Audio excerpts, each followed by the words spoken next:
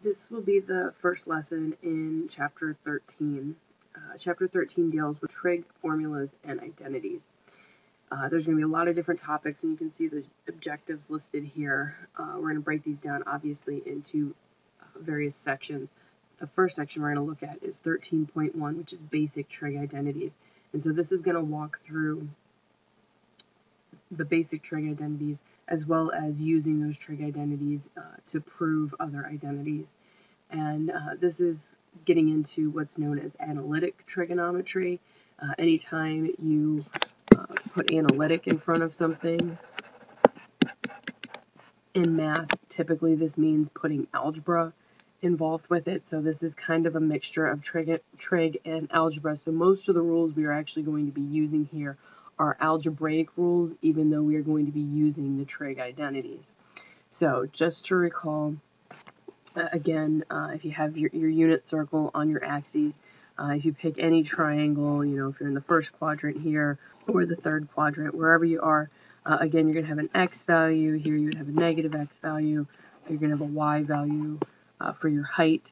And then you're going to have an r. And again, when you're dealing with the unit circle, that r is equal to 1.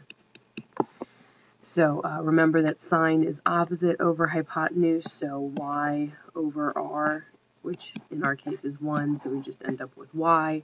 Uh, cosine is x over r, uh, which again, if r is 1, just gets you to x. And finally, tangent is going to be y over x. So just again, we were using that in the last chapter, but just a reminder. Um, the reciprocal trig identities, again, just a refresher, you should have seen these in previous courses. Uh, sine is the reciprocal of cosecant. So we talked about this a little bit in uh, section 12.3 when we were dealing with graphing secant and cosecant.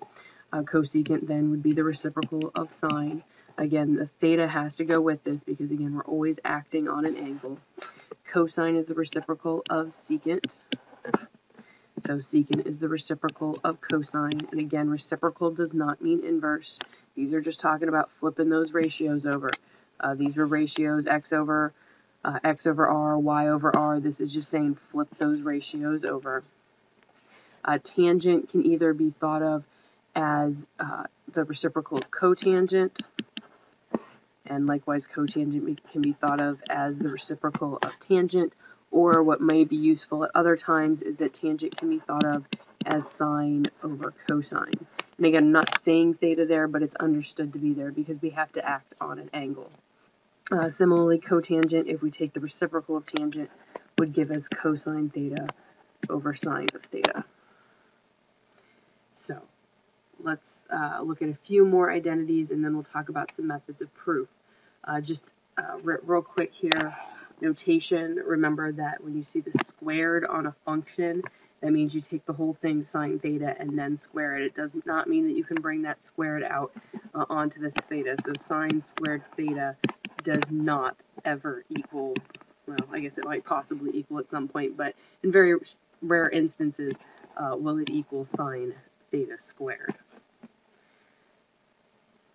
So uh, with that notation in mind, um, and if you kind of go back here to the triangle, uh, remember Pythagorean theorem would say that x squared plus y squared equals r squared, right?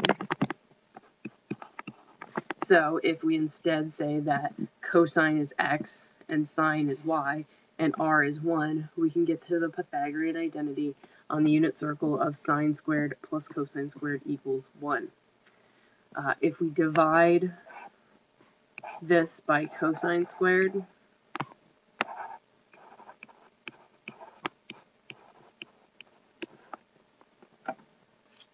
Then you'll see sine squared divided by cosine. Sine over cosine is tangent. That'll give you tangent squared. Cosine squared divided by cosine squared is 1. And 1 divided by cosine squared will give you secant. Uh, likewise, if you had taken that sine squared theta plus cosine squared theta equals 1, and instead divided by sine squared,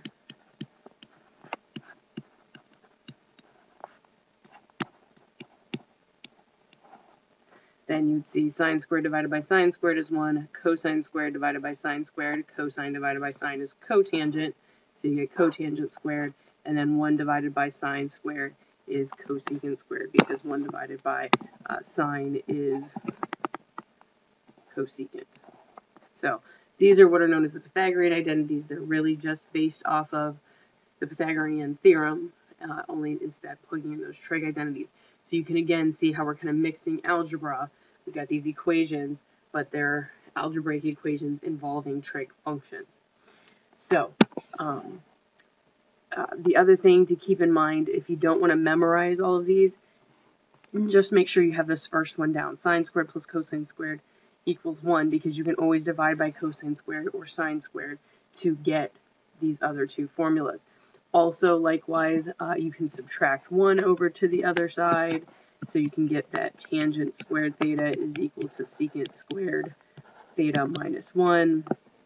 Uh, likewise here, you could subtract 1 over and get that cotangent squared is equal to cosecant squared theta minus 1. Uh, similarly here, we could um, move things around and either get that sine squared theta is equal to 1 minus cosine squared theta, or that cosine squared theta is equal to 1 minus sine squared theta.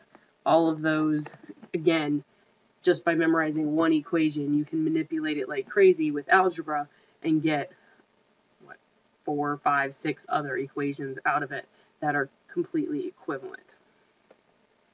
So uh, the last thing we want to talk about in this video are the methods of proof. In the next video, we'll actually go through and do some examples, um, but it'll make it a, there's a lot of examples for this section because I want to make sure you feel comfortable. So I'm going to break it down into just kind of like the intro and then the actual execution of these, uh, the use of identities to prove trig identities. So our options here when dealing with these types of equations. You can kind of see here how we're trying to prove different things. We proved this first one, sine squared plus cosine squared equals 1, using the Pythagorean theorem. And then we used our identities involving sine and cosine and tangent and secant and all of the other trig uh, functions, and we put those together to come up with a bunch of other equations that you see here. So we started off with one equation, and we're able to come up with 1, two, three, four, five, six other equations just using those identities. So that's our first method is using those trig definitions that we started off with of what sine and cosine kind of mean. Um, uh, we can also substitute in known identities. So now that we have all of these identities, we don't have to reprove them. We can use them. Uh, we can factor. Um, factoring is going to come into play, so make sure you're comfortable with that and uh, expressing all functions on one side in terms of sine and cosine. A lot of times this is helpful because then you can kind of work backwards into either factoring or using trig definitions. Again, typically the use of trig definitions is more of the use of x, y, uh, and r or 1. Um,